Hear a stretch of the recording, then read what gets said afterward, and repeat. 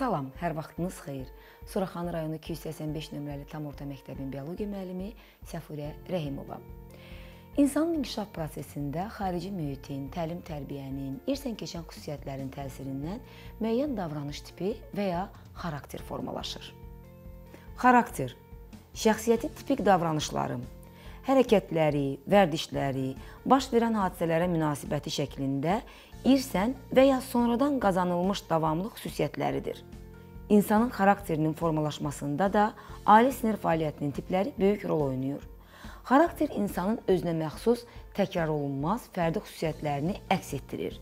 Hər bir insan üçün yalnız ona xas olan prinsipiallıq, mərdlik, saflıq, məsuliyyətlilik və bu kimi xarakter cəhətlər səciyyəvidir. İnsanın xarakteri onun inkişafı prosesində formalaşır. Xarakter əsasən insanın uşaqlıq və gənclik yaşlarında tərbiyənin təsiri altında formalaşır. Xarakterin formalaşmasında əsas rolu sosial amillər oynayır. Xarakterə həmçinin insanın fiziki xüsusiyyəti də təsir edir. Xarakterlə yanaşı hər bir insanın qabil olduğu xüsusiyyətlər də mövcuddur. Qabiliyyət bir və ya bir neçə fəaliyyətin müvəffəqiyyətlə yerinə yetirilməsi üçün vacib olan xüsusiyyətlərin cəmidir. Qabiliyyətlərin yaranması ilk növbədə baş beynin və analizatorların irsi quruluş xüsusiyyətlərindən, onların funksional xassələrindən asılıdır. İnsanın qabiliyyəti həm irsən, həm də tərbiyə ilə müəyyən olunur. Bütün qabiliyyətləri iki tipə bölmək olar: ümumi və xüsusi qabiliyyət. Bir çox fəaliyyət növündə meydana çıxan qabiliyyətlər ümumi qabiliyyətlərdir. Konkret fəaliyyət növündə meydana çıxan qabiliyyətlər xüsusi qabiliyyətlərdir. Bundan başqa, insanda fiziki və zehni qabiliyyətlər də mövcuddur. Fiziki qabiliyyət bədənin quruluş və təbii xüsusiyyətlərindən asılıdır.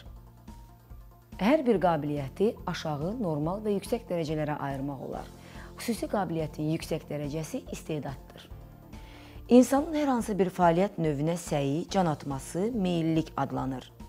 İnsanın bu fəaliyyət növündə qabiliyyətin olması vacib faktor deyil. Qabiliyyət olmaya da bilər. Baxmayaraq ki, qabiliyyət və meyillilik eyni zamanda meydana çıxır və bir-birinə müvafiq gəlir.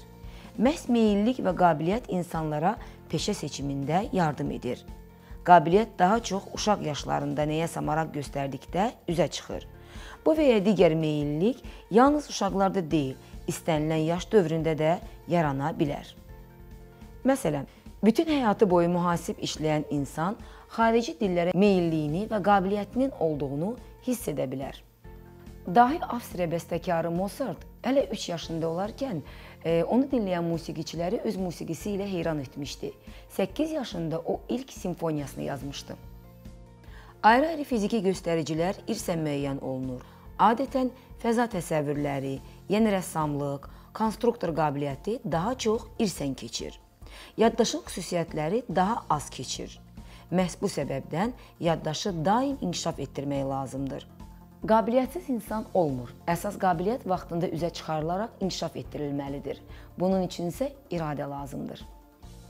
İradə çətinliklərin aradan qaldırılması üçün insanın düşüncəli fəaliyyətini həyata keçirmək qabiliyyətidir.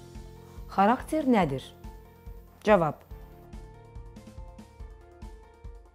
Xarakter şəxsiyyətin tipik davranışları, hərəkətləri, vərdişləri, baş verən hadisələrə münasibəti şəklində irsən və ya sonradan qazanılmış davamlı xüsusiyyətləridir. İstedad nədir? Cavab. Xüsusi qabiliyyətlərin yüksək dərəcəsi istedaddır. Meyillilik nədir? Cavab. İnsanın hər hansı bir fəaliyyət növünə səyi, can atması meyillilik adlanır. Sualları rahat, köməksiz cavablandıra bildinizsə, çox gözəl. Yox, çətinlik çəkdinizsə, onda dərsi bir daha yenidən izləyin. Hələlik.